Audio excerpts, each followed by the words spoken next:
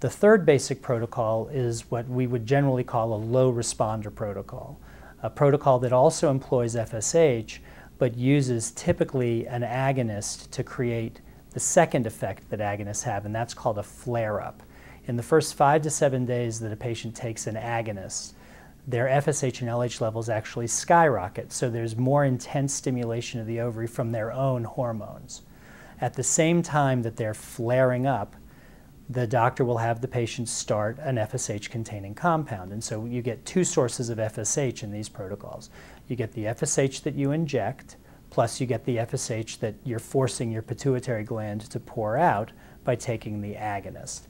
Now there are different types of flare protocols. There's a standard flare, which is high dose Lupron.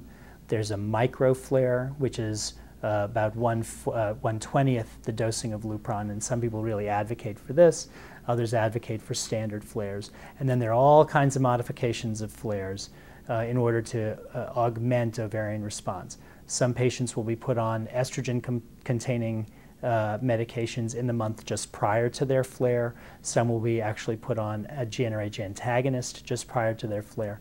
The goal of all of these maneuvers is to synchronize whatever eggs are available so that when the FSH containing product is initiated, everybody's home and can answer the call. And as many eggs are as available will come out.